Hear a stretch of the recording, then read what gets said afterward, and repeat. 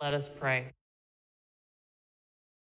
Holy God, open our hearts, minds, and souls to you, that we may hear the words of your prophet Mary and rejoice in the hopeful proclamation that she offers the world.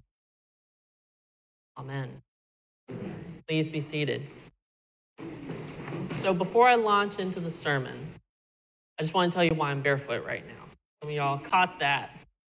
So, in seminary, when we were in our homiletics class, a bunch of us in my class, we preach more comfortably when we were barefoot.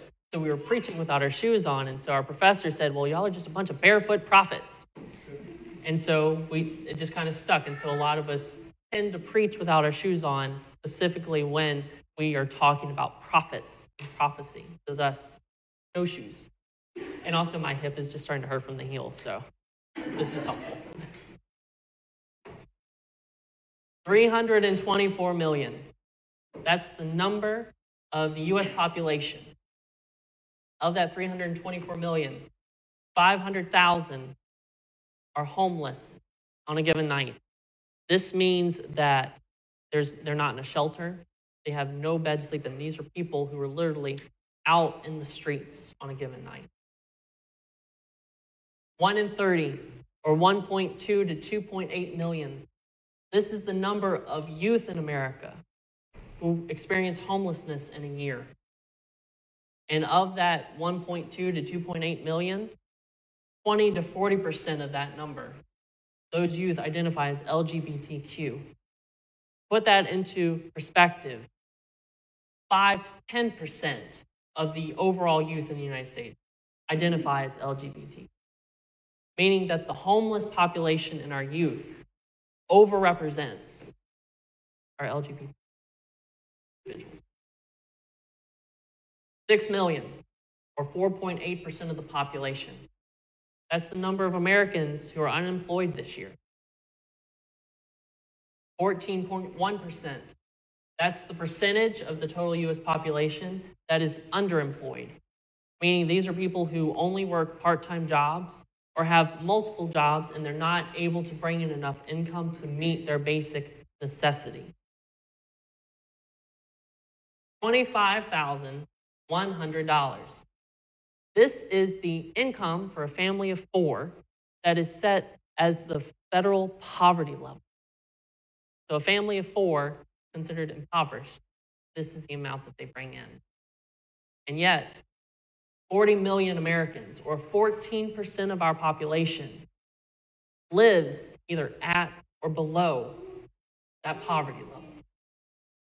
And of that 40 million, 18.5 million are what we consider living in deep poverty, meaning they live on less than half of the federal income, um, federal poverty income. So 18.5 million for families of four are living on less than 25,000. Of that 40 million who are in um, considered impoverished, 26% are single moms. 25% are adults with a disability. 25% never graduated high school.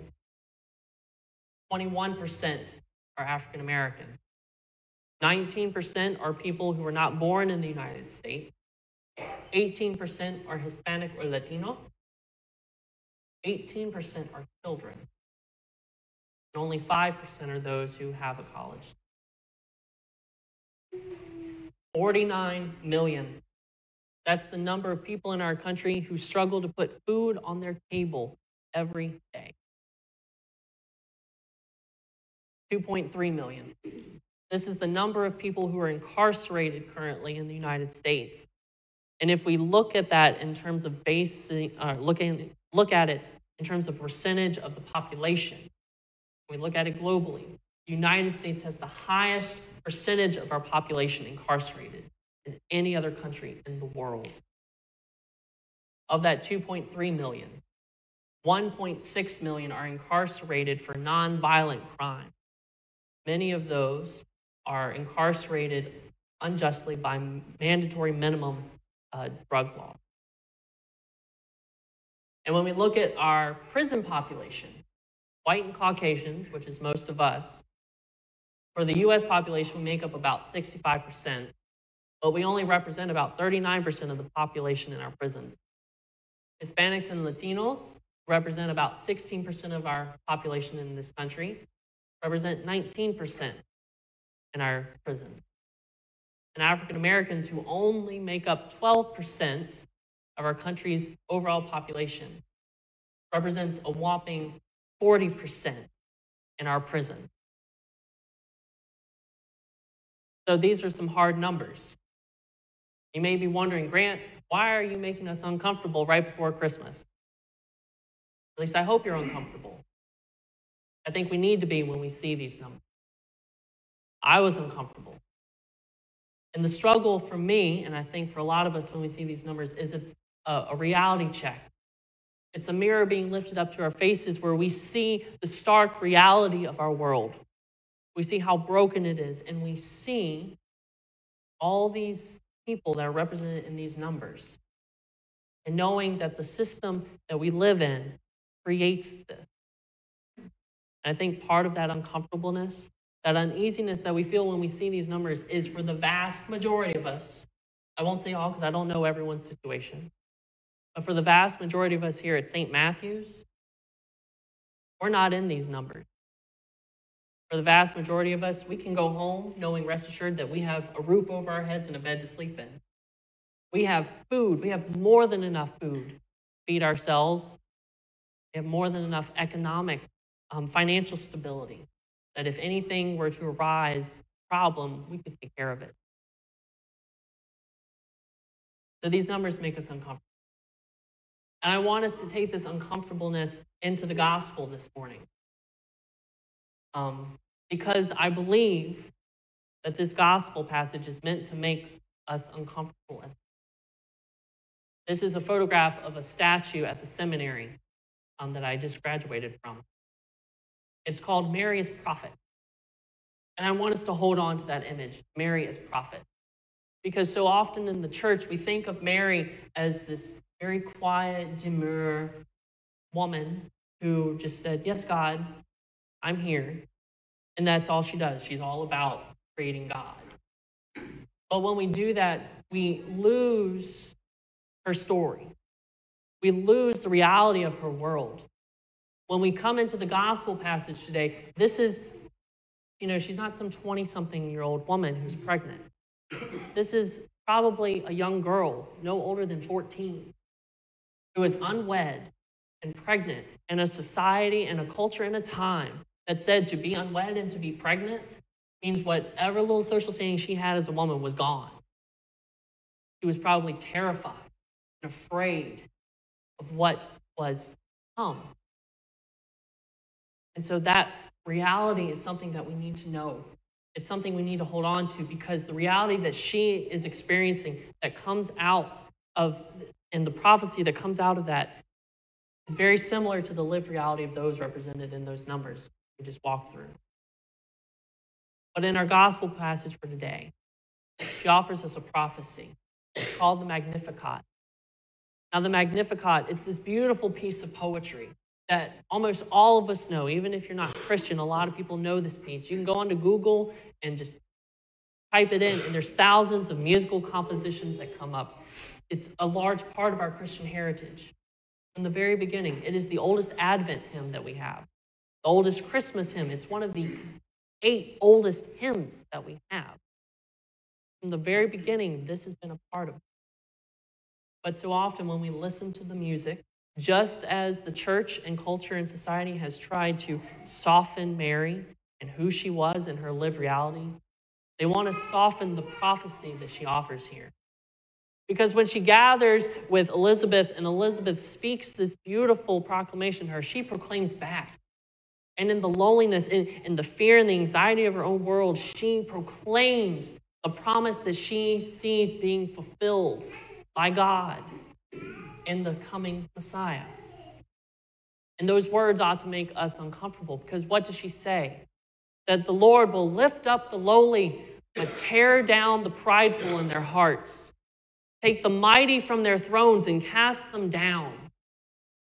That the Lord would feed abundantly those who are left hungry And those who have plenty, it will be taken away from and sent away. Now, I don't know about you, but I can make a guess. For the vast majority of us, including myself, that is uncomfortable.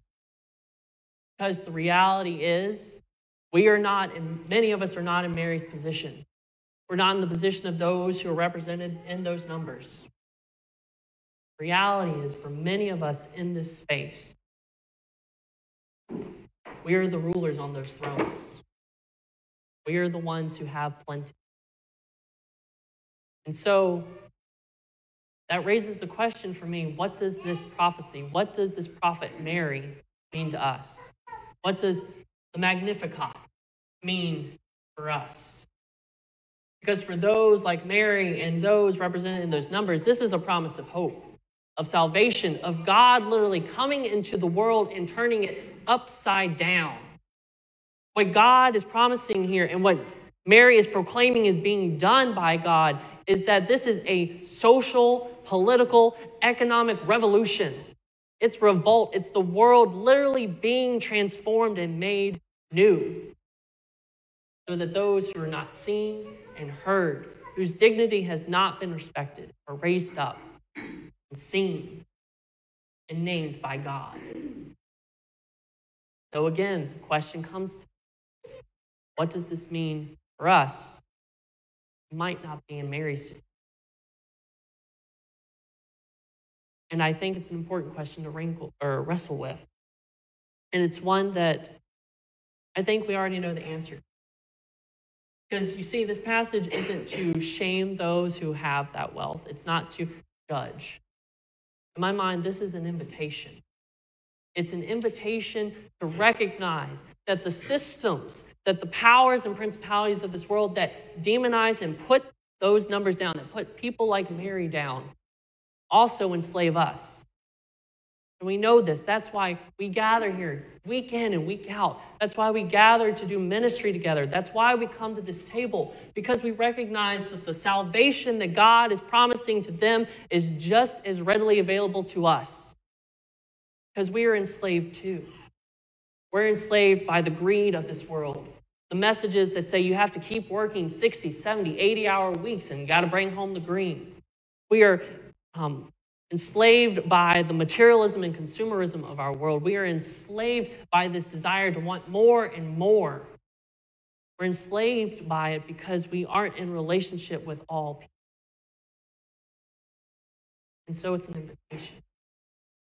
God is inviting us into that salvation, saying that, yeah, it's not going to be easy, it's not going to be comfortable, but in my kingdom, in my reign, all people will be provided.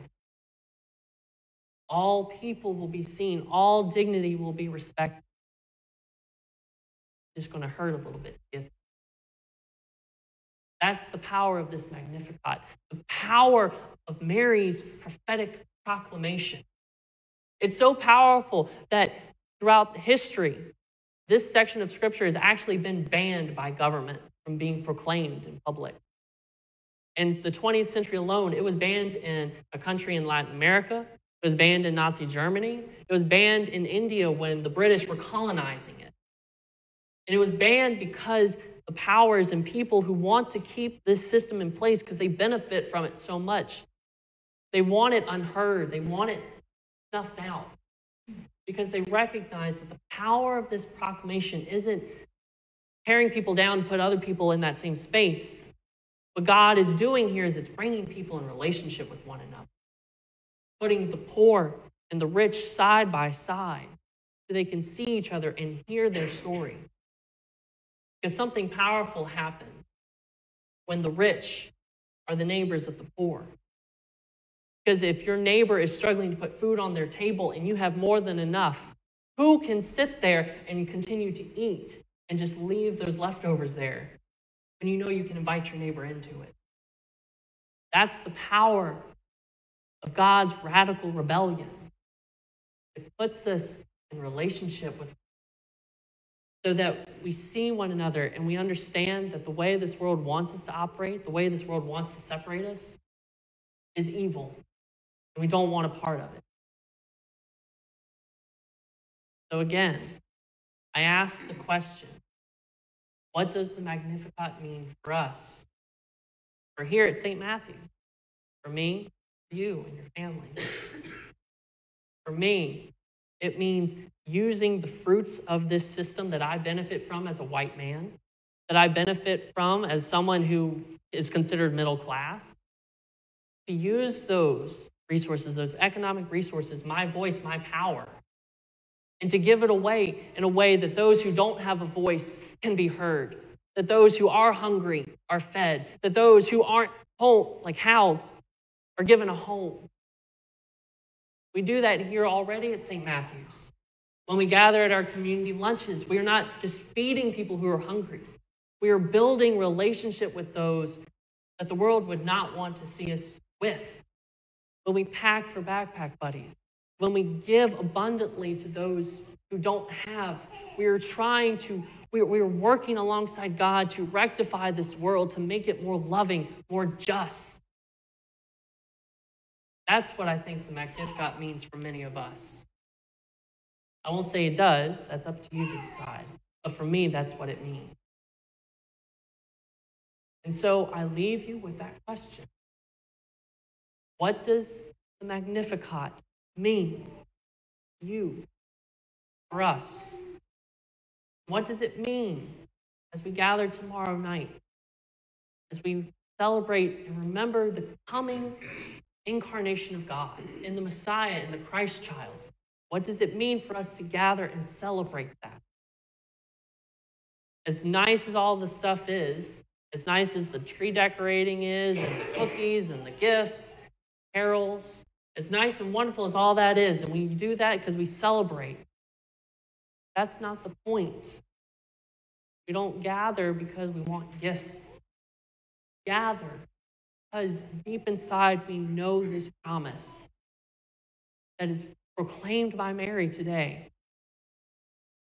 Come recognizing that our salvation for all of us is in the Messiah.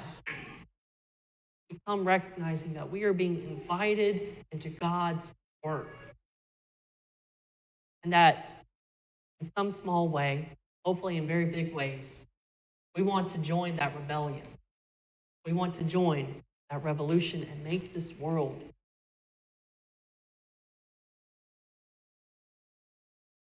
What does the Magnificat mean to you? And how will you respond to God's invitation into that revolt? Amen. Amen.